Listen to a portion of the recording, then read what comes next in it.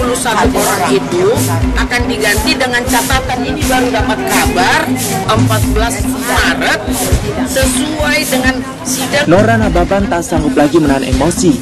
Kesabarannya habis lantaran proses penggantian uang tiket maskapai Batavia Air tidak jelas. Padahal Nora sudah datang sejak pukul 5 pagi.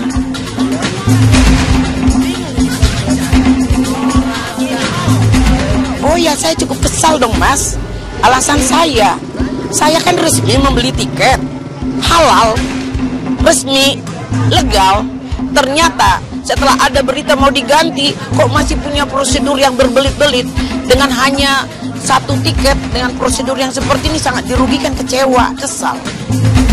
Demikian juga Ida Tampu Bolon. Perempuan parubaya ini rela meninggalkan pekerjaannya sebagai bidan di salah satu puskesmas di Jakarta Timur demi mendapatkan uang tiketnya kembali. Namun, uang yang diharapkan tak kunjung diterima karena masih harus melalui seleksi administrasi. Informasi yang tidak jelas tentang proses penggantian uang tiket membuat Ida bingung. Ya kecewa dong, waktu coba lihat, bertol, bayar parkir, bensin kan, waktu terutama. Gitu. Pihak kurator yang ditunjuk mengurus uang pengembalian tiket membantah. Mereka merasa sudah memberikan informasi yang cukup.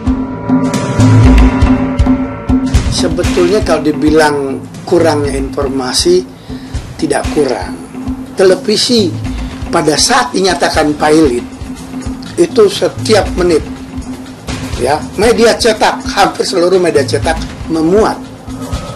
Bahkan kami selaku kurator mempunyai kewajiban memberikan pemberitahuan sebagaimana ditentukan pasal 15 ayat 4 kita tentukan iklan itu kita buat iklan yang standar koran nasional. Bahkan kalau kita lihat koran internasional karena udah berbahasa bahasa Inggris. Kira-kira gitu. Jadi kalau dibilang itu kami mohon maaf. Kalau anda kurang informasi. Kalau mereka baca koran tidak kurang informasi itu. Karena kita juga bikin pemberitahuan itu seluruh masyarakat. Pengembalian uang tiket Batavia Air dilakukan di Ruko Cempaka Mas Blok B 24, Jakarta Pusat. Waktu penukaran tiket mulai dari tanggal 18 Februari hingga 13 Maret 2013. Namun, para pemegang tiket Batavia Air tidak akan mendapatkan penggantian tiket secara penuh. Pasalnya, aset Batavia Air hanya mencapai 1 miliar rupiah Padahal utang yang harus dibayar lebih dari satu triliun rupiah.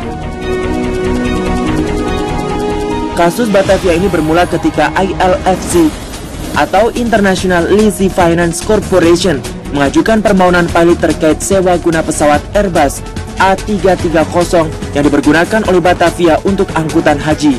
Namun maskapai swasta nasional tersebut tidak mendapatkan tender haji.